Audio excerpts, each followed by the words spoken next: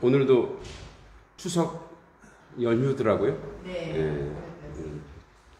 저희는 뭐 그런 거 잘 모르는데 오늘도 연휴더라고요. 오늘 어, 마지막 시간입니다.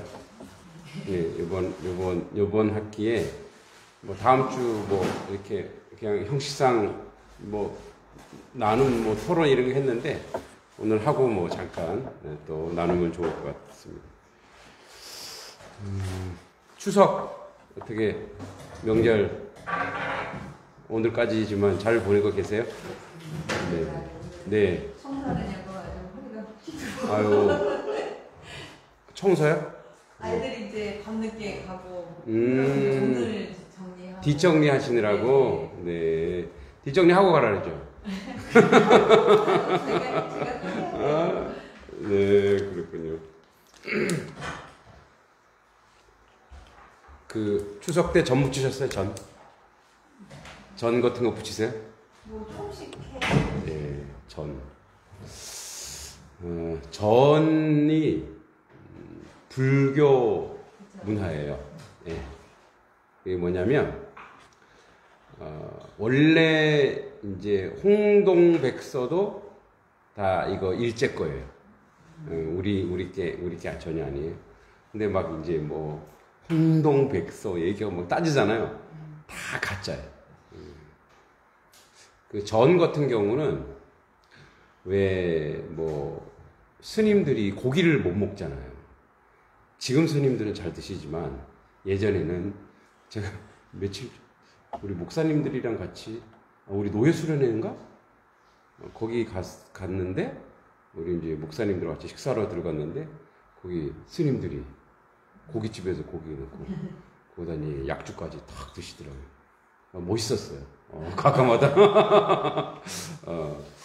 근데 이제 예전에는 스님들이 예, 이제 고기를 못 드시니까 명절만이라도 고기 대용으로 이 기름기 있는 거 한번 먹어봐라. 그래서 기름에다가 이제 야채를 튀겨서 먹는 거예요. 근데 그거는 제사상에 올라가진 않아요. 음, 절대 제사상에는 기름 튀긴 거 올라가지 않고. 저는, 저는 누가 붙여요? 보통.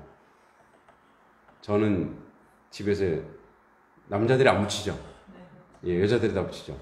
어, 차례의 모든 음식은 남자가 했습니다. 예, 여자가 하지 않았어요.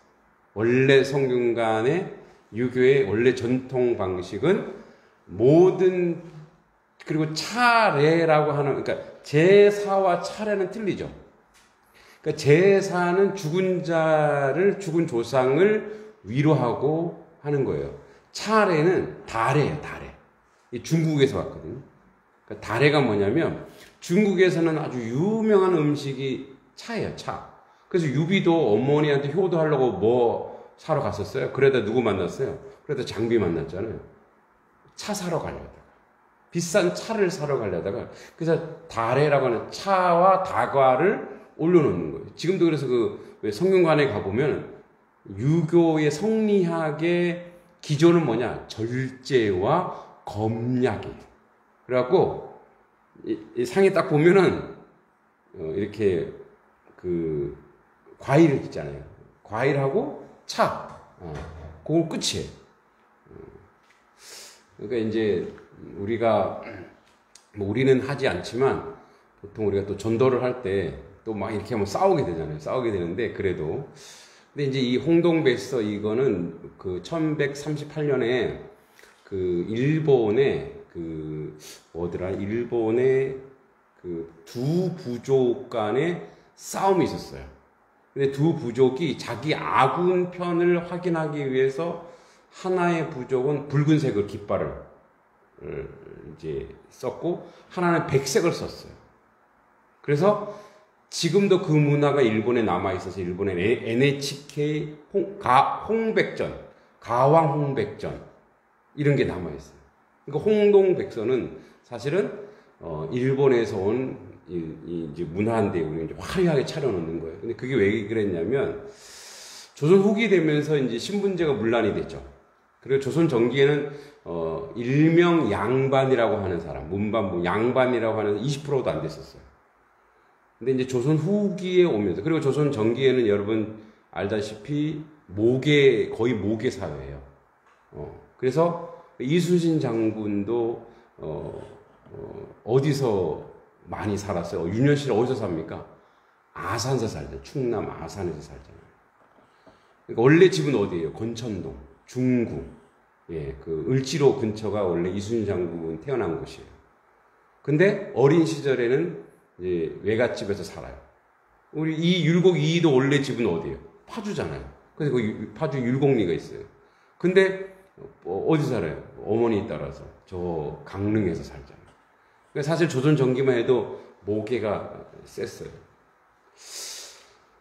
이제 후기에 가면서 양반 애들 이제 양반들이 이제 이게 우리가 일명 사, 어, 이제 상인 계층 예, 여러분 상인을 비하는 말이 쌍놈이에요 그게 예, 상인을 비하는 말이에요.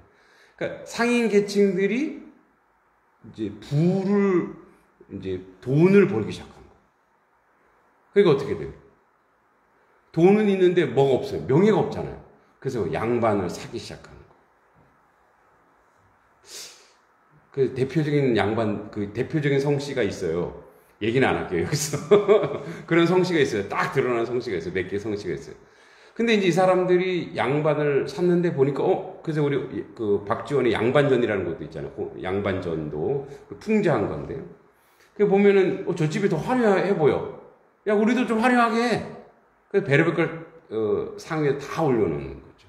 이제 그래서, 어, 오늘날이 이제 그런, 어, 문화가 생겼다. 이런 말씀 드리고. 오늘 이제, 그, 추석이고 해서, 추석이고 해서, 혹시 좀 우리가 그래도 상식적으로 좀 알아둬야 되겠다 싶어서 그 조상 제사의 역사성, 조상 숭배 역사성에 대해서 좀 공부하고 그리고 뒤에 예, 시간에 대해서, 시간과 공간에 대해서 좀 어, 마무리 좀 하겠습니다.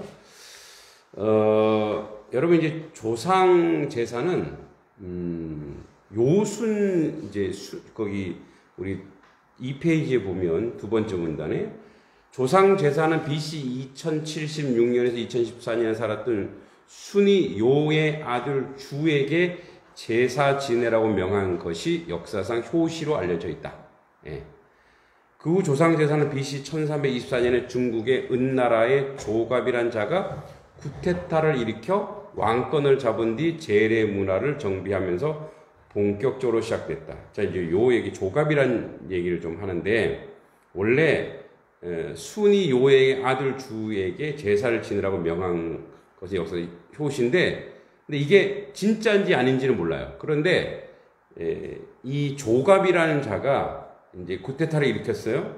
근데 이때만 해도 중국에서는 어, 황하신 예, 거대한 강을 섬기거나 산을 섬기거나 이제 이런 샤먼에서 어, 이제 산과 뭐 태양을 섬기거나 이랬는데 예, 조갑 이전에는 조상을 섬겼다라고 하는 말은 없어요. 조상에 대한 예를 갖추는 건데 조상을 신처럼 숭배하는 건 없었어요. 근데 조갑이 자기가 이제 이게 구테타를 일으켰잖아요. 이게 뭐예요? 역성혁명이잖아요. 그러니까 명분이 있어요, 없어요? 없는 거야. 근데 자기는 그래서 어, 하늘이 자기를 이제 자기 조상들은 음, 하늘에서 어, 이렇게 맺어줬다. 그래서 자기 부모, 할아버지, 조상들에 대해서 자기가 이제 예, 숭배를 하기 시작해요. 어, 그러다가 이 이제 얼마 안 가요. 근데 보세요 거기 보면은 조갑이라는 자가 구태서 이렇게 왕권을 잡은 뒤 제례 문화를 정비하는 본격적으로 시작되었다. 그런 황하신, 천신, 토템 등의 제례를 다 없애버리고 원래는 그 당시에 황하신, 뭐 하늘, 천신, 뭐 태양 숭배, 달 숭배를 다 없애고 자신의 직계 혈족들에게만 제사를 드리게 하면서 조상신을 어, 전쟁, 농사, 날씨, 질병 등을 조절할 수 있는 초월적 신으로 만들었다. 그러나 조갑의 조상 숭배 제례 의식은 이에 대한 불만을 품은 주변 연합군에 의해 은나라가 멸망됨으로 끝나고 말았다. 결국 조갑이 세운 은나라는 조상 숭배 때문에 망했다. 그런데 이렇게 망했어요. 그러면 이제 조상 숭배 없어져야 되잖아요. 근데 그 다음 왕이 딱 보니까, 어? 조갑이 조상 숭배한 게 그 조갑이란 자, 어, 자를 어, 이렇게 조금 업시키니까 그걸 본 이제 그 다음 왕들이 좋아 보인단 말이죠. 보여. 왜냐하면 자기가 왕이 되는 명분을 살리기 제일 좋은 건 뭐예요? 자기 조상이 은덕이 있다, 잘났다 이 얘기하고 싶은 거거든요. 그래서 이제 만들었는데 황제는 그래서 사당을 만들어요. 왜 우리도 조선 왕조도 왜 임금에 사당들이 다 있잖아요. 예, 사당이 있어요.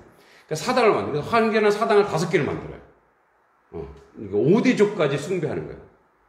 그럼 그 밑에 있는 왕들은, 제후나 왕들은 세 개를 만들어요.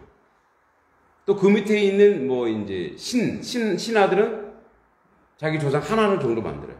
근데 백성들도 보니까 그게 좋아 보여요. 그래서 어떻게 해요? 무덤을 거예요.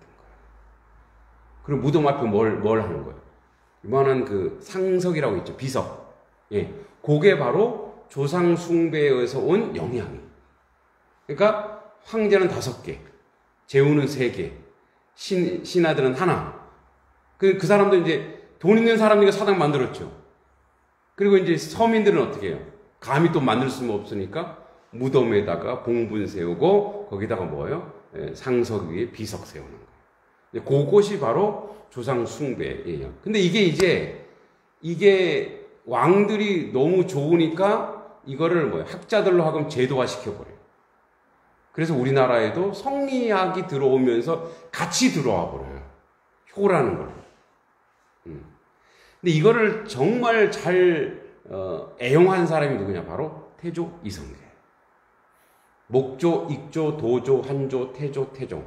자, 어, 이제 이- 이방원 위로 이제 위로 어, 왜그 할아버지 고조 진조 할아버지까지 목익 도환 태태. 그러니까 뭐 자기네 할아버지 목조 익조 도조 환조 태조 이성계. 예. 그러니까 4대의 은덕이 있어서 왕이 되었다 이거예요. 그죠 그리고 자기가 이제 그 다음에 물론 정조가 정종이 있었지만 뭐 3년 하고 이제 나가니까 그 다음에 자기가 왕이 되었다. 그래서 그거를 어디랑 비교하냐면 요 은과 무왕이나 이 은, 은나라랑 이 용비어천가에 보면 나와요. 용비어천가 보면은 여기 예, 비교해서 여기서 그래서 그 주나라에 누가 왕이 되었고 목적 어떻게 왕이 되고 대꾸를 해서 이래서 뭐예요? 이성계가 어, 왕이 되었다. 아, 요 어, 아주 조상 숭배를 해서 이렇게 잘 만들어내죠. 이렇게 잘 가공해냅니다. 이것이 바로 지급에 있는 조상 숭배인데, 근데 아까도 이제 차례에 대한 얘기를 좀 했는데, 차례랑 제사랑 틀리다 그랬죠. 근데 제사는 제사는 어, 죽은 조상을 부르는 행위예요. 그죠? 부르는 행위예요. 이 부르는 행위는 원래 누가 하는 거죠? 원래 접신해서 혼을 부르는 거 누가 하는 거예요? 무당이 하는 거잖아요. 그러니까 제사라고 하는 것은 바로 무당이 하는 행위인데 전 국민을 무당화로 만들어버려요. 거기다 뭘 씌워서? 효라고 씌워서. 이게 효다. 제사 지는 게 효다. 효는 뭐가 효예요?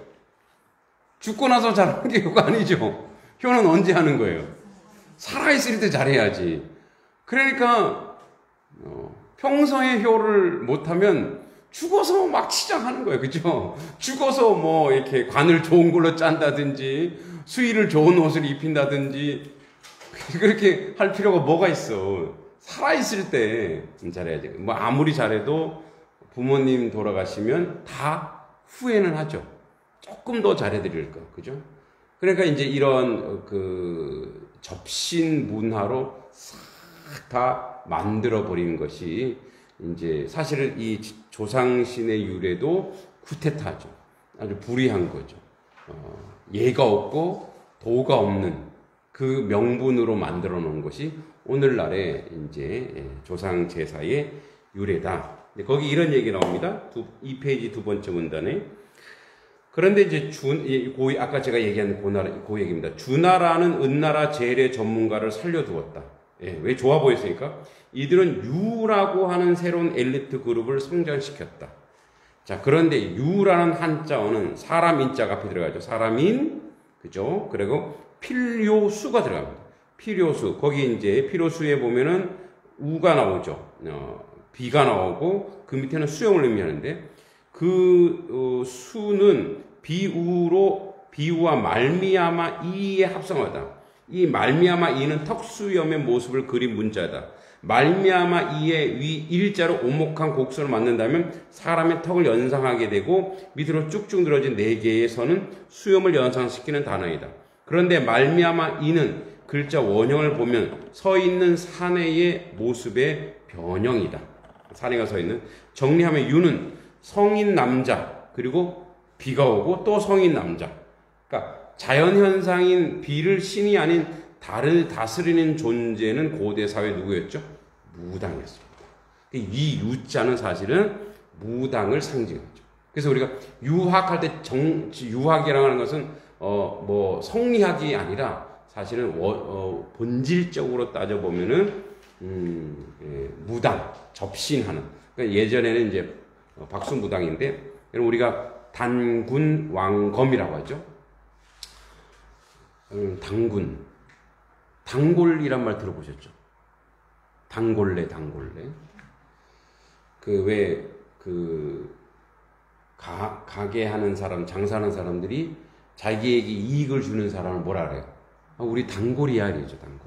그 단골이 뭐냐면 복을 주는 사람이란 뜻인데 그게 바로 단군, 북방족, 그러니까 저 북쪽의 남자 무당을 단골이라 그랬어요. 근데 왜 우리 뭐 전설의 고향이나 옛날 역사 들어보면 단골레란 말 하죠, 단골레. 음, 근데 거기 이제 여자로 나오는데 이게 남자 무당을 얘기해요. 근데 재정 일치사의 왕검이니까 뭐죠? 어, 군사력도 있고 그 다음에 뭐죠? 아주 그 신적 어, 어떤 신의 매개자. 그러니까 이제 남자 무당을 얘기해 단골이라는 게 그게 당군 왕검을 상징하는 거거든요. 그러니까 이 당시에 고대 사회에서 유라고 했을 때 이유는 무당을 상징한다는 거죠. 그래서 유는 유 3페이지 집단은 안으로 자신들의 왕인 주나라 왕통 족보를 다듬어 조상 숭배케 했고 이게 주나라가 좋아 보니까 원래 조갑이라고 하는 나쁜 놈이 만드는 건데 어 써보니까 좋아. 그래서 뭐 그걸 갖다가 쓰는 거예요. 그래서 그걸 갖다 체계적으로 만듭니다. 그래서 타 부족과 공통으로 숭배할 수 있는 존재인 하늘 천을 숭배하겠다. 그리고 유 집단 사상을 그대로 받아들인 자가 공자였다. 공자가 이것을 수용해 버립니다. 왜냐하면 공자는 정치를 하고 싶었거든요. 그러니까 정치인들이 타협하는 거 있잖아요. 그러니까 공자가 인의 정치지만 그래도 뭐요? 자기가 어느 나라에 가서 써줘야 되는데 왕이잖아요. 그 왕의 그 족보를 인정해 줘야 되니까. 그래서 이것을 받아들입니다. 그 한무제가 천하를 통일하고 동중서라는 인물을 등용했는데 동중서는 공자의 유교를 받아들이면서 하늘과 조상 숭배 재래문화 과거 숭배를 받아들여 통치의 수단으로 삼았다. 예. 그래서 이제 이것이 통치의 수단이 되어서 여러분 이제 우리가 그 왜 왕권 그러니까 왕이 장자 계승이잖아요. 장자 계승. 그러니까 이 영향이 있는 거예요. 그러니까 그 당시 우리 이제 요임금, 순임금은 어땠어요? 자기 부하 중에 뛰어난 사람을 어떻게 왕으로 세우는 거죠. 되게 합리적이잖아요. 그죠? 우리를 치면 CEO죠, CEO. 그런데 이제 조상 숭배되면서 그, 그 조상을 숭배하는 거기에 신격화 시키니까 어떻게 해요? 그 집안에 그, 그 핏줄만이 뭐가 되는 거예요? 천자의 아들이다. 그래서 왕이 되는 거죠. 예. 그렇게 이제 쭉 그 흘러가게 되죠. 아, 여기 황제는 일곱 개로 나오네. 다섯 개가 아니라. 어, 예전 내가, 제가 너무 옛날에 이거 한 6, 7년 전에 우리 청년들한테 이제 조상 숭배에 대해서 허구성 얘기하다가 좀 자료인데. 자, 그래서 보면은 이래 돼 있죠? 근데 보면 실제로 황제는 일곱 개, 큰 제호는 다섯 개, 작은 제호는 세 개, 제상은 두 개, 가는 것은 한 개, 사당을 만들어 제사를 지냈고 평민은 무덤에 가서 제사 지내게 함으로 정권을 유지해 왔다. 예, 이렇게 되죠. 이제 우리나라에 공자가 이것을 수용해 버리니까 뭐예요? 당연히 그대로 가져오는 거예요. 예. 그러니까 비판 없이 역 없이 그대로 가져오죠. 그래서 그 밑에 보면은 그대로 가져왔다라고 하는 이 얘기가 그 안에 들어 있습니다. 그래서 이제 4페이지는 조상제사 허구성, 뭐 이거는 적용점인데 한번 이거는 쭉 읽어보시면 좋을 것 같습니다. 네, 이렇게 이제 예, 우리가 혹시 제사 문화나 또 차례 문화나 어, 기본적으로 좀 우리가 그래도 어, 알아두고 있어야죠. 그러니까 이제 맹목적으로 막 반대하기보다는 미리 좀 알고 있으면 어, 굉장히 좀 의미가 있겠죠. 저도 요즘에 최근에 이제 요, 요즘 유튜브가 좋은 게 굉장히 많아요. 음, 저는 저도 이제 운전하면서 보통 저도 유튜브를 찍고 뭐 책도 하지만 요즘에는 그 왜 유튜브라고 하는 게 굉장한 지식 채널이 되더라고. 어, 그래서 뭐 책 속에도 많지만 뭐 이런 이제 역사적인 이제 사실들 이런 얘기들을 참 많은데 그 중에 제가 이제 징기스칸에 대해서 한번 그 매불쇼라고 하는 그런 그 저기 뭐 유튜브인데 음 거기에 이제 썬킴이라고 하는 역사를 설명하는 어 아주 재밌게 설명하는 친구가 있는데 어 이제 징기스칸을 보면서 이제 아직 우리나라에 남아 있는 그 문화들이 있어요. 어, 그 징기스칸에 대해서 그 잠깐 소개하고 이제 우리 오늘 시간에 대한 얘기 좀할 건데 여러분 제가요 그 을지로 교회 있을 때 을지로 교회가 하비스트 아, 하비스트 성 그 신학교가 있었어요. 그게 몽골 신학교였어요. 몽골. 그 원래 그게 세문학교에서 하다가 이, 아마 어떤 갈등이 있었던 것 같아요. 그래서 이제 안재표 목사님이 세문학교에 있었기 때문에 이제 하비스트 성교회가 이제 같이 온 거예요. 근데 가끔 가다가 이제 목사들한테 개강이나 그 폐, 뭐죠, 폐강할 때, 이제 종강할 때 설교를 한번 해달라 그래요. 그래서 제가 한번 설교한 적이 있어요. 거기는 막 예배 시간 장난 아니에요. 예배가 2시간, 3시간 드려요. 설교 1시간 반씩 해요. 저는 딱 20분만 했어요. 근데 사람, 제가 인기가 되게 많았대요, 그때. 왜 인기가 많았을까요? 예? 닮아서? 짧아서? 예. 첫째, 설교를 잘해서. 그분들이 동질감을 느꼈대죠. 몽골 사람들. 어떤 자매는 이렇게 얘기했대요. 와, 몽골 사람이 한국말을 너무 잘한다. 예, 어때요? 이렇게, 그렇게 또 몽골 사람 닮은 것 같아요? 짭짭 딸망하고, 단단하고, 예, 말탈 것 같은. 어, 징기스칸의 부인이 500명이래요. 공식 부인만 500명이래요. 비공식이 뭐예요? 그래서 아시아 민족의 8%가 징기스칸의 피, 피 후손이래요. 우리나라도 왜 몽골 침략했잖아요. 그래서 거기 끌려간 사람은 환양년이라고 그랬잖아요. 그러니까 어, 아시아의 8%가 어, 징기스칸의 후예라는 거예요. 예, 얘기하더라고요. 그러니까 유전자를 보면은 징기스칸인데 이런 몽골이란 뜻이 뭔지 아세요? 몽골. 몽골. 위대한 자라는 뜻이. 근데 우리는 뭐라 그래요? 그러죠. 이게 틀린 말이죠. 몽고는 중국 사람들이 한족들이 한 번 이 몽골족한테 당했잖아요. 그러니까 컴플렉스가 있고 상처를 받았어. 그래서 되게 비하한 말이에요. 여기서 몽골은 뭐냐면 어둘 몽자 옛꽃자 썼어요. 그래서 몽골 사람들은 자기한테 몽골어는 싫어해요. 이건 중국이 만든. 중국이 저 남만 베트남도 비하하기 위해서 뭐로 만든? 베트남이라 그랬잖아요. 지금도 베트남이라 쓰고 있잖아요. 아예 이 굳어져 버렸잖아요. 지금 몽골 사람한테 몽, 아, 몽골 사람한테 몽골하면 되게 기분 나쁘. 몽골, 몽골. 이 몽골은 위대한 자래요. 어, 또 흉노도 원래 예, 흉노라, 흉노족, 흉노족 그래죠. 근데 흉노가 원래는 사람이란 뜻이래요, 사람. 근데 우리는 뭐예요? 흉할 흉자에 노미 놓쳤어요. 중국이 또 그렇게 만들어 놓은 거예요. 네. 우리나라, 중국이 우리나라한테도 만들어 놓은 말 있죠. 동이족이에요, 동이족. 동쪽에 활 잘 쏘는 오랑캐. 네, 우리 동이족이에요, 동이족. 어, 이 징기스칸 1162년에 출생했는데 아버지 이름이 독특합니다. 여러분 평생 안 잊어먹을 거예요. 아버지 이름. 아버지 이름이 예수계이예요. 예수계이. 아버지가 예수계이에요. 그리고 오직인이라고 하는 부족의 추장이었어요. 아버지가. 어머니는 다른 부족의 유부녀인데 이 몽골의 문화가 그렇대요. 유부녀라도 납치해가 오면 자기께 된대. 왜 보쌈이 있다, 보쌈. 그 우리나라 보쌈이 남아 있는 거예요. 그래서 이, 그 몽골 그 대초원에 그냥 데리고 오면 자기 여자가 되는 거예요. 그래서 다른 부족이 유부녀를 납- 납치했어요.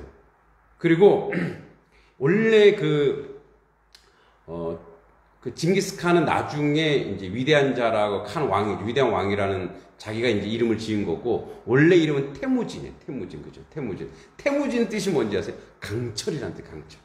근데 여기도 이름, 이름 지는 게 독특해요. 인디언들과 비슷한 것 같아요. 옛날에 영화에 인, 늑대와 춤을 이런 거 있었죠. 그러니까 여기도 이제 어떤 날 어, 아주 특별한 일이 생겼어요. 특별한 일이 생기면 그 특별한 일을 기념해서 아들 이름을 짓는데요. 제가 예를 들어서 오늘 지평교회 와서 강의했잖아요. 인문학 강의했잖아요. 근데 집에 가니까 애들이, 애가 탁 태어났어. 그러면 지평 인문학. 걔 이름이 지평 인문학으로 이름이 되는 거예요. 이 태모진이라고 하는 이름이 누구냐면 사실은 어, 이 예수계이가 다른 부족에 가서 쳐들어가서 그 추장을 죽여요. 그리고 돌아왔는데 이제 태어난 거예요. 그 추장 이름이 태무진이에요. 그러니까 그걸 기념하는 거예요. 그 저쪽 추장을 죽여서 너의 이름을 우리 죽은 사람 이름 갖다 쓰지 않잖아요. 근데 너가 태무진이야. 이렇게 이름을 지어버렸어요. 어, 태무진은 원래 이제 타타르족인데 아버지가 징기스칸은 이제 어, 이제 에, 그렇게 해서 이름을 짓게 되죠. 그런데 징기스칸 아홉 살에 아버지가 죽습니다. 타타르족 어, 이렇게 자기가 죽인 추장을 죽인 그 부족에게 복수를 당해요. 그래서 죽게 돼요. 그 아홉 살에 이 징기스칸은 부모를 아버지를 잃어요. 근데 이제 부족에서 아버지를 잃으면 다 잃은 거예요. 그랬더니 부족민들이요. 왜 우리는 우리는 신의라는 게 있잖아요. 어, 그래도 추장의 아들이니까 추대에서 추장으로 세고 이게 없어요. 거기는 추장이 힘이 없으면 다 도망가는 거예요. 뿔뿔이 터지는 거예요. 그러니까 혈혈단신 남아서 있는데 다른 부족들이 가만두겠어요? 저 추장의 아들이니까 포로로 끌려가요. 그래서 천신만고 끝에 이, 이, 이 이제 살아나는데 그래 이렇게 포로 되었다가 왜 그, 왜 춘향이 칼 차는 거 있잖아요, 이거. 이칼 차는, 목에 칼 차는 게. 이게 몽골에서 온 거예요. 그래서 이제 칼을 차고 바다에, 강에 뛰어들어서 도망가요. 그런데 그때 자기 추격자 중에 한 사람이 와갖고 와서 봤는데 그냥 지나가 버려요. 살려준 거지. 그래서, 어, 이, 이, 이제, 그, 이 사람 추격대에서 자기를 살려준 사람을 찾아가요. 당신 날 살렸으면 나 책임져 달라. 너 여기 있으면 안 돼. 그래서 이 사람이 사, 숨겨서 이제 살려주는데 나중에 이 사람이 이 대, 그 몽골의 대장군이 돼요. 어, 이제 신뢰를 얻어서. 어, 그런데 여러분, 몽골이, 어, 이 징기스칸이 전 세계를 그 거의 뭐 유럽에서부터 저까지 대초원을 점령한 데는 음, 말이 중요해요 말. 근데 여러분 큰 말은 아니고요. 왜 조랑말이죠 조랑말 작은 말. 그 말을 훈련을 엄청 시킵니다. 어떤 훈련 시키냐면 이제 침투해 가기 위해서는 말과 말 주인이 있잖아요. 같이 먹고 같이 자기 하는데 숲에서 말이 조용히 같이 자기 하는데 만약에 조금은 우는 말은 다 죽여버렸대요. 그리고 말이 새끼가 낳잖아요. 그러면 일주일 동안 새끼에 물을 안 준대요. 그러면 이 말 어미가 물을 찾는데요. 그 사막에서. 그래서 새끼를 살리려고 막 엄청 돌아다니고 물을 찾아버린대. 그래서 스스로 생존하게끔 그렇게 훈련시킨 건데.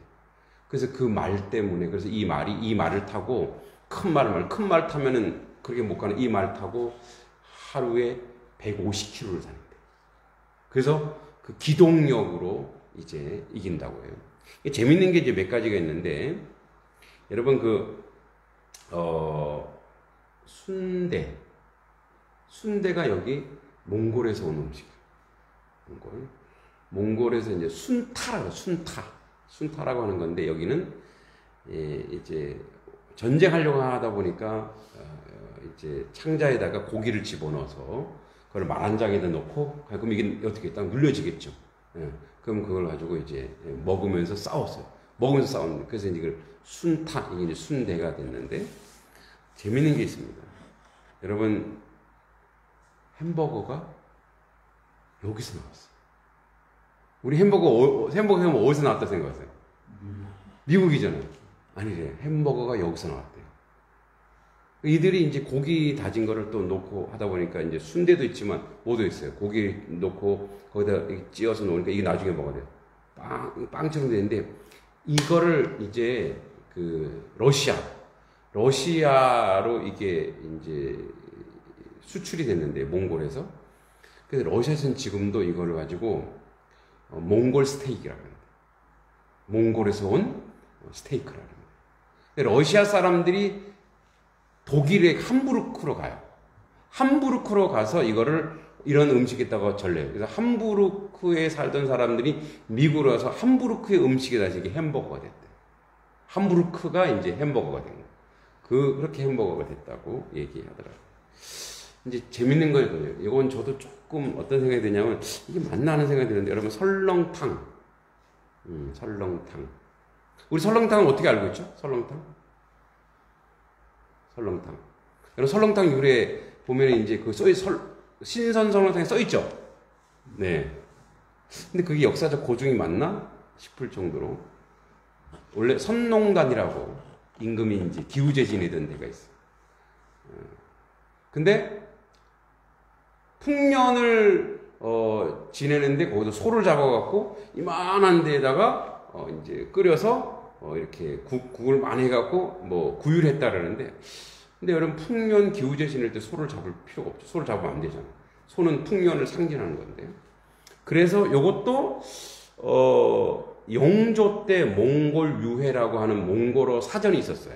거기에 보면은 몽골인은 투구에다가 물을 끓여갖고 투구에다 물을 딱 끓여서 넣어서 샤브샤브를 넣었는데 이 음식이 공탕이에요 공탕 곰탕 말고 공탕이에요 공탕 그런데 이게 몽골어로 슈르탕이에요 슈르탕 슈르탕이 나중에 설렁탕이 됐다 그런 음, 설이 있습니다 여러분 그 1206년에 천하 통일 후 이름을 태무진에서 징기스칸으로 바꿉니다 위대한 왕인데 여러분 여기 징기스칸 어록이 좀 있어서 소개하려고 해요.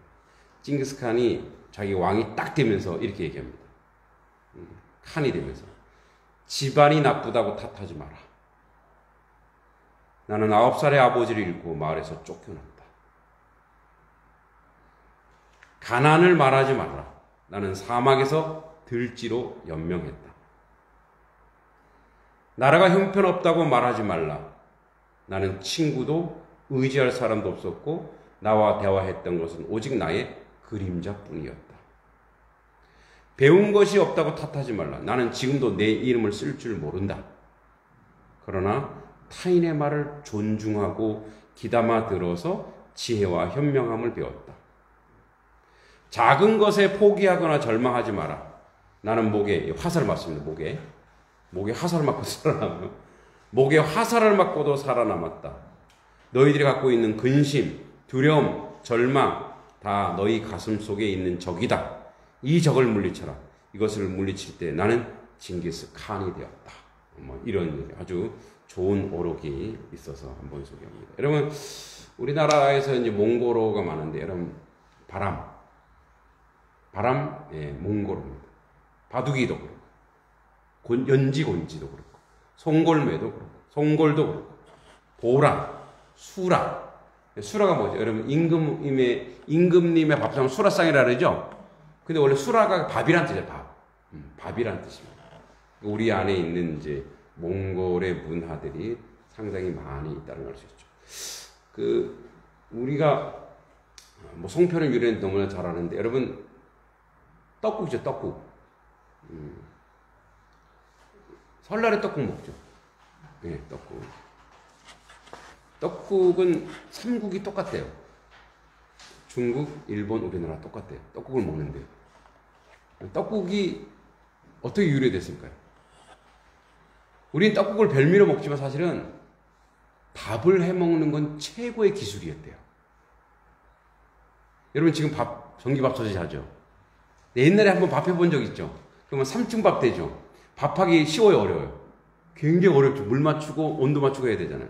이 밥이라고 밥을 하는 건 고도의 과학 기술이었대. 그 옛날에는 왜냐하면 무쇠솥이 먼저 있어야 되잖아요. 예, 불을 끓여야 되고. 근데 예전에는 쌀을 수확해서 이걸 물에 불린대요. 그래서 물을 다걸 찐대요. 좀 딱딱해지잖아요. 그럼 이걸 말린대요. 그 때가 되면 그걸 따갖고 물에 불려서 먹는 거예요. 그게 떡국의 유래라고 그렇게 얘기를 하더라고요. 네.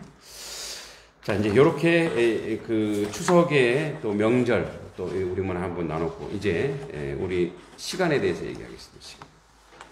자 여러분 어, 지금 몇 시예요? 몇 시 몇 분이에요? 7시 40분. 네. 7시 40분. 몇 초일까요, 지금? 7시 40분 뭐 20초. 지금 이거 우리 익숙하죠? 옛날에는 분초 시, 물론 시는 자축인묘 진사오미 이렇게 시 두 시간에 하나씩 했지만 분초를 나눈 적이 없어요. 우리가. 잘 생각해 보세요. 우리가 시간을 쓰고 있습니까? 시간이 우리를 이용하고 있습니까? 예?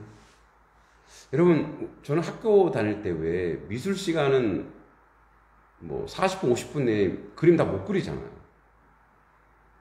또 그 시간에 그림 그리려고 하면 어떻게 해요? 빨리 그려야 되잖아요. 서둘러야 돼요. 그래서 어떨 때 이제 제가 훗날 보니까 미술 시간이 2시간일 때도 있었더라고요. 그죠? 2시간을 주더라고요, 미술. 과학 실험도 2시간 해야 되는데. 근데 우리는 수업하다가 열심히 수업하다가 50분 수업하면은 끝나. 그러니까 선생님 그 50분 수업에 수업 준비해 갖고 와야 돼요. 그러니까 내용이 중요한 게 아니라 뭐가 중요한 게 돼 있어요? 시간이 중요한 게. 그래서 우리는 주일날 11, 12시가 다 돼가는데 목사님 소리가 아직 안 끝났어요. 그럼 어떻게 해요? 자꾸 시간을 보게 되죠. 예? 어, 왜 아직까지 오지? 또는 뒤에서 사모님이 그죠? 예. 왜? 그리고 보니까 우리는 뭐예요? 시간의 노예가 되고 않는가. 그래서 뭐냐면 우리의 삶이 시간이라고 하는 이 분초를 나누고부터 시간에 얽매여 있고 시간에 구애받고 살고 또 시간 속에서 살고 시간이 뭐가 되냐면 어, 시간이 가치가 돼버렸어요. 예. 시간은 이제 같이 중립을 시켜야 되는데 시간이 가치 그 자체가 됐어요. 어? 제가 오늘 인문학 강의 6시간 한다고 생각해 보세요. 안 오죠? 어떻게 와, 내가. 한 시간 반도 힘들어 죽겠는데. 그죠? 자, 봅시다. 시간을 통일하다. 우리나라는 전국 어디서나 같은 시간대를 사용하고 있다. 서울에서의 점심시간이 낮 12시, 대전에서도, 광주, 부산에서도 점심시간이다. 언제부터 이렇게 모두가 동일한 시간대를 공유하며 살았을까? 동일한 시간이 필요하기는 했을까? 19세기 중력까지만 해도 유럽이나 미국은 모두 양력을 사용하긴 했어도 각 지방마다 해에 맞추어 시간을 정했기 때문에 시계를 사용하는 경우도 지방마다 시간은 상이했다. 그리고 그때까지 생활에서 이는 사실 아무런 문제가 되지 않았다.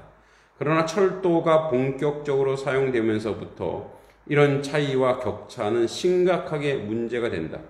왜냐하면 철도는 하나의 단일한 시계를 가지고 달리는데 그 시계가 도착하는 곳의 시계와 철도의 시계가 다르면 매우 복잡한 문제가 어, 발생, 발행에 발생하게 되었던 것이다. 예컨대 철대 운행표를 만드는 것조차도 난이한 일이 되기 때문이다. 그래서 나라마다 시간적 통일성을 마련하려는 시도가 진행된다.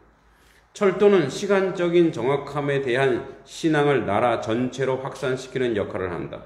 철도는 합리화된 운행표를 중심으로 정확함을 수행하는 새로운 시간 관리 장이었고 여기는 시기가 달리게 되었다.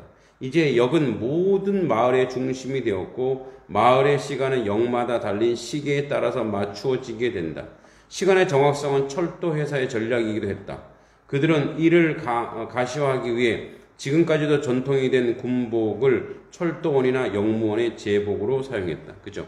지금도 보면 영무원들을 보면 군복 같잖아요. 그죠? 역은 병령을 모델로 구축되었으며 상명 하달, 해고, 휴직, 경질, 징벌, 제복 등 이래까지 군대의 엄격함을 그대로 사용했다. 넘겨볼까요? 철도망이 국경을 넘게 되면서 나라마다 시간이 다르다는 점도 마찬가지 방식의 문제가 된다. 이 경우 각 나라마다 표준 시간을 정하고 그 표준 시간을 조정하기 위한 기준 시간을 마련할 필요가 있었다. 이때 기준 시간, 표준 시간은 어느 것을 할 것이냐 놓고 열강들 간의 투쟁이 벌어진다. 1875년 영국 철도회사 요청으로 국제 지리학회가 열렸는데 여기서 전 세계 시간을 통일하자는 제안이 있었고 1881년 그리니치와 워싱턴, 베를린이 경합하게 된다. 그리니치 좌우선이 기준 시간으로 채택되기까지는 열강들의 정이 만만치 않았던 것이다. 20세기 초 무선 전신 실용화되면서 지구 전체가 전파, 속도, 빛의 속도가 같다가 허용되어 하는 오찬에서 시간은 맞추게 된다. 그죠? 그래서 철도는 규율 바른 시간에 의해 운행하는 것이므로 스스로 민중에게 시간을 엄수할 것을 가르치는 까닭에 이 점에 있어 철도는 한국 사람에 대해 문명적 지도자라 하지 않을 수 없을 것입니다. 미국 공사 알렌의 경부선 개통식 축사 중에서 이렇게 얘기합니다. 그러니까 아예 인정하는 거예요. 그러니까 시간이라고 하는 그 구조. 어, 근데 이제 여러분이 시간이 분과 초로 나누면서 이게 나누어지잖아요. 그죠? 뭐 1교시, 2교시, 3교시, 4교시. 이게 이제 시간이 가지고 있는 분절성이에요. 그죠? 분절성. 근데 시간의 분절성으로 끝나는 게 아니라 삶도 분절화되더라 이거예요. 살아가는 삶도. 그러니까 우리가 누구를 만나잖아요. 그죠? 우리가 누구를 만났을 때 그 만남도 내가 얼마나 시간이 있습니다라고 얘기하잖아요. 저희가 얼마나 시간이 있습니다. 그러니까 인간관계에 소통하고 이야기하고 진득히 그 사람의 삶을 같이 나누는 게 아니라 시간 안에서 내가 이, 요, 정도로 내가 함께 이야기할 수 있습니다. 그러니까 사실 24시간이라고 하는 저 분절. 그러니까 예전에는 우리가 사람을 만나거나 아주 오래 전에는 사람을 만나거나 했을 때 어, 해, 이제 해가 떨어졌는데 집에 자러 가야 되겠네? 어, 또 해가 뜨니까 어떻게 아침이네? 그죠? 그러니까 요 정도로. 그렇지만 이제는 어, 삶도 아주 분절성으로 나누어져 있더라 이거예요. 그런데 이제 여기서 여기서 끝나지 않고 자 여러분 시간이 동일하게 쭉쭉 가 그리니치 시간으로 이제 쭉 가요. 그래서 어, 우리 산업혁명 일어나면서 철도가 생기면서 이제 시간의 경제적 모델로 어, 분절화 시켰어요. 그러면서 시간이 생기니까 그 시간을 전략하려고 하다 보니까 뭐가 발생할 거야? 속도가 발생해, 속도.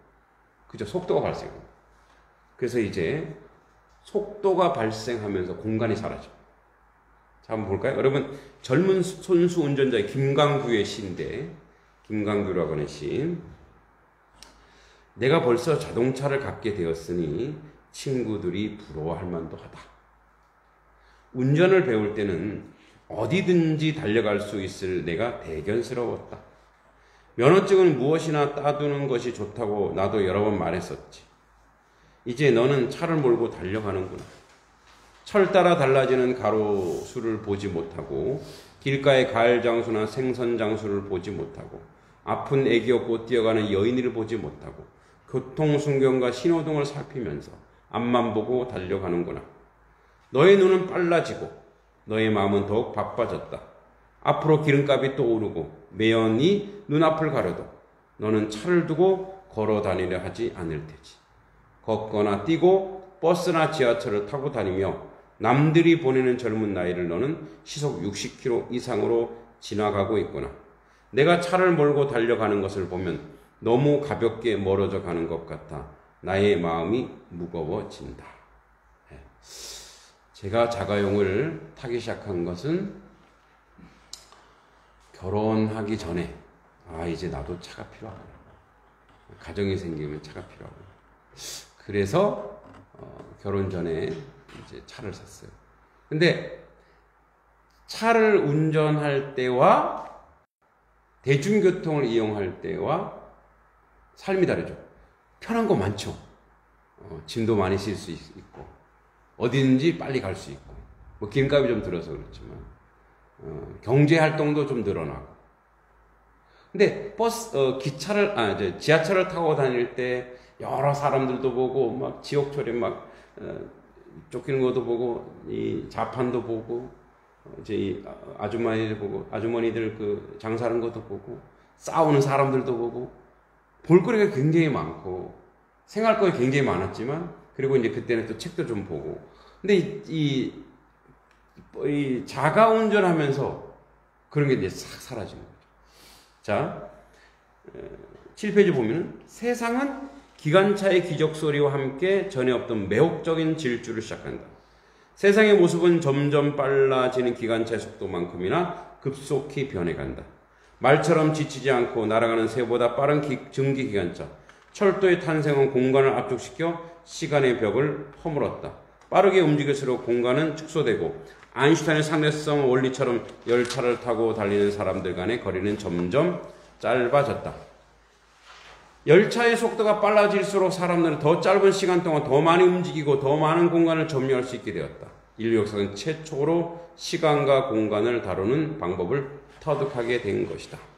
그러니까 이런 거예요. 자, 여러분 기차를 타고 가거나 자가용을 타고 갈 때 항상 우리는 목적지가 있죠. 예. 그게 뭐가 없어지는 거예요? 과정이 없어지는 거예요.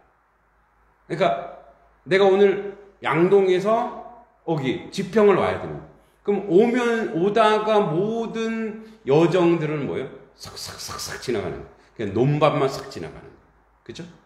그러니까 어, 공간이 사라지기 시작하는 거예요. 그 공간은 어떤 걸로 바뀌었냐면 공간은 음, 실제 하는 그 공간으로서의 그 객관화되고 가치가 사라지고 이, 이 여행자의 목적에 따라 공간이 배치되고 만들어지고 사용되어져야 되는 거예요. 그러니까 그 우리 예전 이제 그런 얘기해요. 와 여기 이런 데인 줄 몰랐어. 와 여기 이렇게 좋네. 해외 여행 자주 하다가 야 한국에도 이렇게 좋은 게 있었어? 이건 뭐예요? 지금까지 공간을 조작한 사람이 누구냐 나라는 거예요. 그러니까 제가 지평 여기에 뭐 하러 왔어요? 저는 강의하러. 이 목적이죠. 내가 주체가 자가 돼서 제가 여기 무슨 경치 구경하거나 지평의 지리가 어떻고 뭐 이런 거를 볼 새가 없단 말이에요. 그래서 뭐예요? 어, 자가 운전을 하거나 어, 목적이 있는 그런 어, 그 어, 공간으로 가다가 보면 나의 목적에 따라서 공간이 다 배치되는 거예요. 이렇게 조율되고 배치되는 거예요. 그렇게 되다 보니까 세상을 간주할 수 있는 힘이 사라지는 거예요. 그래서 어, 자기 중심으로 공간이 배치되니까 뭐 진정한 공간들이 주관적 공간만 있는 거예요. 그죠? 음, 여러분 지평이라고 하는 곳이 제가 이, 저희 저희 입장에서는 이렇게 강의하는 곳이지만 또 다른 요소, 또 다른 기능, 또 다른 장점, 또 다른 어떤 광경이 있는데 그 광경을 다 사라지고 그래서 뭐예요? 그 기억만 남아 있다. 그러니까 우리가 어 이제 우리 아들이 음 추석 때 큰 아들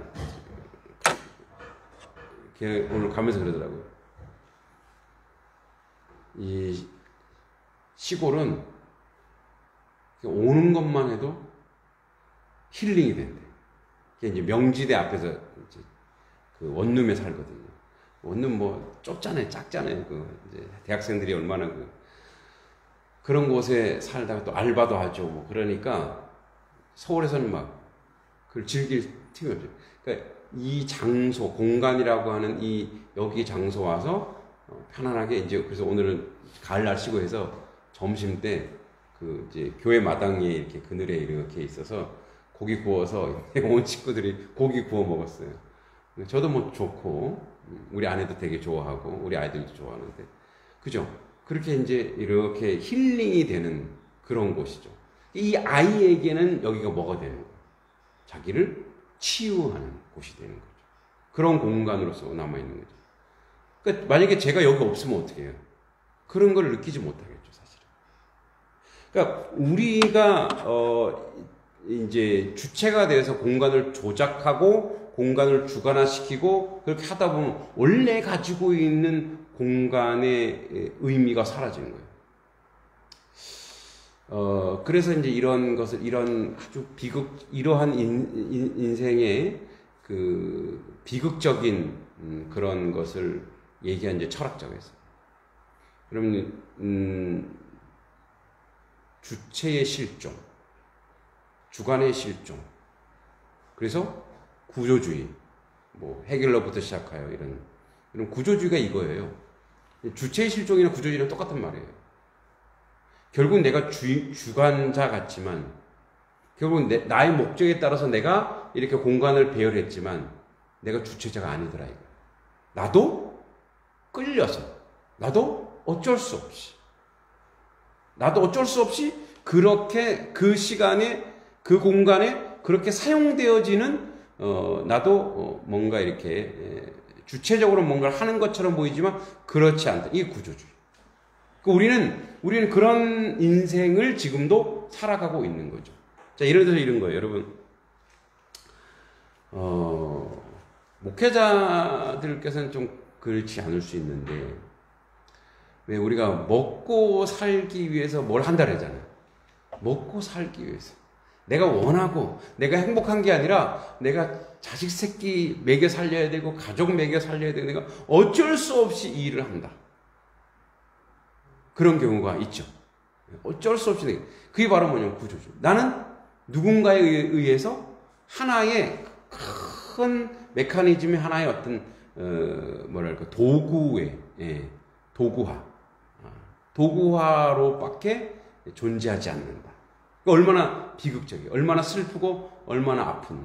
그러니까 거대한 기계 속에서 내가 하나에 들어가 있는 그런 모습으로 이야기하고 있는 거죠. 그렇다고 이거를 혁명적으로 우리가 바꿀 수 없어요. 그렇다고 우리가 모든 걸 다 포기하고 산으로 갈 수 없어요. 그렇지만 우리가 살아가면서 이 정도도 인식하지 않으면 너무나 비극적이잖아요. 그러니까 우리를 간주할 수 있어야 되잖아요. 아, 나의 삶이 지금 어떤가? 어, 그죠? 나의 인생이 지금 어떻게 내가 이 인생 속에서 내가 살아가고 있나? 내가 알고 있는 공간, 혹시 에, 내가 어떤 우상에 쌓여 있어서 그 공간을 그렇게만 생각하지 않는가? 근데 이거를 한번 여러분 잘 비틀어 보면은 그래요. 우리가 늘 보는 교회도 우리 예배하러 오는 공간이잖아요. 거기 머물러 있으면 어때요? 굉장히 예배 드리오는 공간이고 근데 예배에 막 성령 충만하면 막 기쁨과 감사가 넘치는데 왜 그럴 때도 있잖아요. 예배가 힘들 때가 있잖아요. 그럼 이 공간은 어떤 공간이 돼요? 고통의 공간이 돼요. 아픔의 공간이 돼요. 누군가 갈등이 있어요. 그럼 이, 이 공간 어떻게 돼요? 지옥 같은 공간이 되는 거죠. 가정도 마찬가지죠. 그러니까 우리가 공간을 주관화하고 자꾸만 그렇게 배열하는 순간에 그 공간이 가지고 그 공간이 우리한테 주는 어, 다시 이렇게 돌려주는 그런 것들이 아픔과 고통일 수 있다라는 거죠. 그래서 우리는 한 번 더 생각해 봐야 돼요. 내가 지금 이 공간을 내 주관으로 너무 배열하고 있지 않는가? 내가 이렇게 생각하고 있지 않는가? 다른 어떤 것들이 이 안에 있을 수 있는데. 자, 8페이지 보겠습니다. 하이네는 철도를 화약과 인쇄술 이래로 인류에게 커다란 변화를 가져오고 삶의 색채와 형태를 바꾸어 놓은 숙명적인 사건이라고 불렀다. 나, 나아가 다음과 같이 적고 있다. 이제 우리의 직 관 방식과 우리의 표상에 어떤 변화가 생길 것임에 틀림없다. 심지어 시간과 공간에 대한 기본적인 개념들도 흔들리게 되었다. 철도를 통해서 공간은 살해당했다. 그리고 이제 아, 그리고 우리에게 남아 있는 것이라고는 시간밖에 없다. 이제 사람들은 3시간 반 내에 오를레안까지 그리고 같은 시간 내에 루안까지 여행한다. 이 노선들이 벨기에와 독일까지 연결되고 또 그곳은 철도들과 연결된다면 어떤 일이 초래될 것인가? 내게는 모든 나라에 있는 산과 숲이 파리로 다가오고 있는 듯하다. 나는 이미 독일의 보리수의 향내를 맡고 있다. 내 문 앞에는 북해의 파도가 부서지고 있다. 여기서 우리는 동일한 하나의 변화를 지닌 두 가지 모순적인 측면을 발견하게 된다. 철도는 한편으로 이제까지 마음대로 할 수 없었던 새로운 공간을 열어놓았지만 다른 한편으로는 그 사이에 공간이 없앴다는 점이다. 스테른베르거는 다음과 같이 말한다. 유럽의 창을 통해 보이는 전망은 그것이 지닌 심층적인 차원을 완전히 상실했다. 그것은 빙 둘러서 있으며 어디나 채색된 평면뿐인 하나의 동일한 파노라마 세계의 일부가 되어버렸다. 산업화 이전 시대의 시각적인 인식 존재에던 초점심도는 초점 심도 하나의 이제 기준이 돼서 하나하나 보는 거죠. 심도는 속도로 인해 가까이 놓여 있는 대상들과 사라져 가면서 완전히 상실되어 버렸다. 이는 전경의 종말이다. 즉 산업화 이전의 시기에 여행의 본질적 경험을 이루었던 공간의 차원의 종말을 의미한다.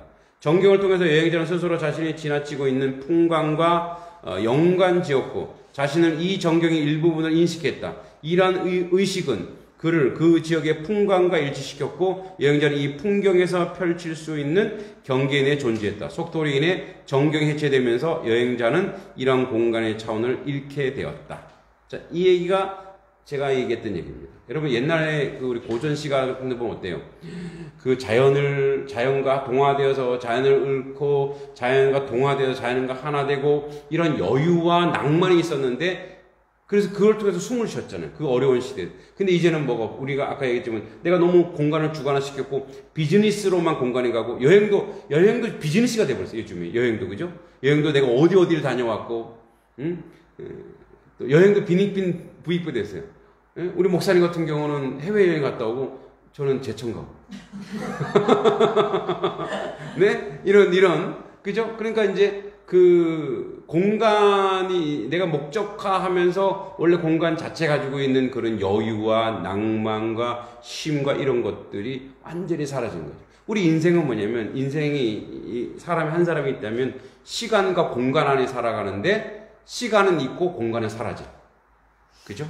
내가 생각하고 내가 조율한 그런 어, 이해관계로서의 공간. 그죠? 그러니까 얼마나 지옥이에요. 어, 여유가 없고 쉼이 없어요. 자, 우리 이제 여기 어, 어머니들이 계신데 여러분들에게 가정은 어떻습니까? 쉼입니까? 노동입니까? 원래 뒤에 이제 우리 다음에 만약에 하게 되면 노동의 종말이라는 것도 좀 나오긴 하는데 어떠세요? 뭐 이걸 퍼센트로 하면 심은 한 몇 퍼센트다. 몇 퍼센트 심이 몇 퍼센트? 그건 모르겠고 지금은 신입니다. 어, 심입니까? 가정부가 있습니까? 와 그래도 예 노하우가 있으신 것 같아요. 예, 자 그래도 이제 연륜이 있으시니까 예, 어떠십니까? 50대 50. 네. 세월이 지나야 이제 이쪽으로 가겠죠? 아. 네. 네. 가서 막 해야 되는 할 일이 참 많죠. 네. 그러니까 우리가 어, 가정에서도 그 공간이 원래는 뭐가죠? 쉼과 안식을 줘야 되는데 그 공간이 뭐가 되는 거예요? 막 이게 일을 해야 되는 거예요. 그러니까 이제 저 같은 경우는 목사님도 그렇게 사택하고 교회가 붙어 있잖아요. 그러니까 그러다 보니까 간혹 가다가 집사님 권사님들이 찾아올 때가 있어요. 뭐 입고 있을 때, 반바지 입고 있을 때, 후다닥 바지 입고 막 나가고, 아, 이게 어떻게 오셨냐고. 그러니까 이분들은 좋은 마음으로 오신 거예요. 뭐 좀, 뭐 좀 사갖고 오셨고, 그죠? 이렇게 갖고 오셨는데. 그러니까, 이렇게, 에, 그런 두 종류의 이제 목회자, 그러니까 우리 아내도 그 목사님 딸이거든. 목사님 딸이고. 그러니까 목회자 자녀들 가운데 두 종류. 우리 우리 아이들도 제가 이제 어제 그 우리 아들을 큰 아들이랑 얘기할 때 그런 얘기하더라고. 자기는 목사 아들로서의 존재가 아니라 나란 존재로서 성도님들이 봐줬으면 좋겠는데 이 목사 아들이란 존재 때문에 그게 되게 부담스럽대요. 음. 그래서 내가 그럼, 그럼 다른 교회 가. 다른 교회 다녀. 다른 교회에서 자유롭게 다녀. 어, 네가 원하면. 어, 그렇게 얘기를 했는데. 그러니까 이제 그런 게 자기를 바라보는 이제 프레임 자체가 되게 힘들다고 하는데, 에, 그러니까 어떤 데는 어떤 그 곳은 어, 이렇게 뭐 그 성도들과 이렇게 어우러서 뭐 그 크게 신경 안 쓰는 데가 있는 어떤 데는 굉장히 이렇게 어 이렇게 자기의 사생활이 노출되는 걸 너무 너무 싫어하는 그런 목회자도 봤어요 제가 봤을 때. 근데 저는 뭐 그렇게 그냥 어, 어울러지는 그런 스타일 저희 아내도 좀 그런 스타일인 것 같아요. 근데 이렇게 생각하면 좀 편한데 안 그러면은 자기만의 공간이 없기 때문에 굉장히 힘들어하고 굉장히 고통스러워 하더라고요. 그런 면에서. 뭐 장단점이 있긴 하겠습니다만 이 공간이라는 게 이, 렇게 변화되고 있다라는 거죠. 자 마지막 그 9페이지 보겠습니다. 여행의 변화, 새로운 여행 문화. 기차는 여행의 경험 자체를 변모시켰다. 철도 이전의 여행자들은 불규칙한 지면과 가축의 관절 운동에 따라 끊임없이 아래 위로 움직여야만 했다. 그리고 마차를 끄는 말은 어느 정도 달리면 어느새 기진맥진에 달리지 못하게 된다. 19세기 기차가 발명돼 철도 여행이 시작되면서 비로 사람들 여행을 즐기기 시작했다. 여행이 고통에서 즐거움으로 바뀐 것이다. 철도는 이동 시간의 단축과 여행의 즐거움을 통해 관광을 일상화시켰다. 모든 기차역에서 볼 수 있는 관광 안내서는 결코 우연이 예, 아닐 것이다. 총알처럼 풍경을 관통하는 철도 여행에서는 풍경의 현실성은 휘발돼 버린다. 열차 바깥으로 펼쳐지는 경치, 길과 마을과 어, 산세가 우러지는 그 장소성은 증발돼 버렸다. 풍경이 분리되었다는 점에서 철도 여행은 도보나 말을 이용한 전통적인 여행과 달랐다. 과거에는 여행자들이 통과하는 공간을 자신과의 생생한 통일체로 받아들였지만 철도는 체험할 수 있는 시간과 공간을 말살시킨 최초의 이동수단이었다. 전통적인 여행에서 실제 공간적으로 전경에 가까이 있던 영역이 열차와 함께 사라지게 되면서 그 자리에는 그때까지 존재하지 않았던 새로운 영역이 들어오게 된다. 기차역에 어디에서나 볼 수 있는 신문과 책 판매, 서점, 여행 중의 독서가 열차 여행의 표식이 된 것이다. 기차역에 맨 처음 시, 시, 어, 서점을 연 나라는 1840년 영국이었다. 그들은 당시 싹트기 시작한 기차 안의 새로운 문화를 간파했다. 기차에 오르면 승객들 사이에 침묵이 흐른다. 눈길을 창밖으로 돌려보면 빠르게 스쳐 지나가는 풍경들은 소멸돼 간다. 눈은 금세 피로해진다. 이때 독서는 자신의 내면으로 빠져드는 편리한 수단이다. 기차 안에서 읽는 책이나 잡지는 현실성이 사라진 풍경에 대치한다. 사람들은 더 이상 창밖을 바라보지 않는다. 자, 여행자가 열차칸에 들어서자마자 그는 아무 일도 못한다고는 선고를 받게 된다. 여행의 단조로움이 눈에 띈다. 지루함은 그 모습을 나타내고 더 심하게는 초조감이 기차에 의해 마치 하나의 탁송화물처럼 운반되어가는 불행한 사람들을 엄습한다. 1페니의 수수료를 내고 여행자들은 기차를 기다리는 동안 서점에 들어갔고 얼마간의 수수료를 더 내면 목적지에서 반납할 수 있는 책을 한 권 대여할 수도 있었다. 이런 새로운 수요를 만족시키기 위해서 런던은 루트리지 출판사는 철도 청소를 발간하기 시작했다. 철도 여행은 누구에게나 새로운 경험이었으나 그것은 통해 여행객 사이에 사회적 구분이 사라진 것이 아니었다. 오히려 철도 여행은 부르주아가 주도한 19세기 유럽 사회의 계급 관계와 문화를 반영했다. 등급화된 객차와 폐쇄적인 객실 구조는 부르주아의 특권과 우월의식 그리고 프라이버시에 대한 갈망을 표현했다. 또한 객실이 고립됨으로써 발생한 각종 범죄와 이에 대한 부르주아의 두려움도 부르주아가 거둔 성공의 부산물로 부르주아 문화 또 다른 단면을 보여주었다.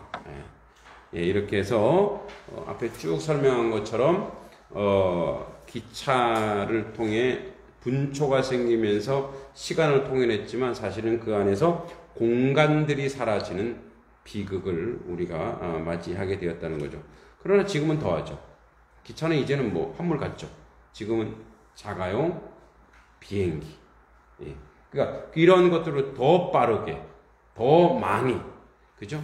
어, 그리고 더 많이 기능적으로 어, 우리가 생각하게 되고 판단하게 되고 그래서 우리가 정말 안식하고 쉴 틈이 없는 그런 그래서 여러분 이거를 우리가 반증하는 게 뭐냐면 등산을 해보면 등산을 해보면 이제 걸어서 올라가고 걸어서 내려오기 때문에 그 하나 하는 것조차도 굉장히 즐거워하잖아요. 왜냐하면 그 공간을 음, 객관적으로 그 공간에 맞닥뜨리고 그 공간과 함께 숨 쉴 수 있는 그런 곳이기 때문에 그렇지 않은가 어, 그렇게 생각합니다. 네, 에, 저희가 어, 7주 동안에 에, 에, 쭉 한번 어, 소통을 해봤습니다. 그리고 방송 끄고 일단 뭐안 오시시고.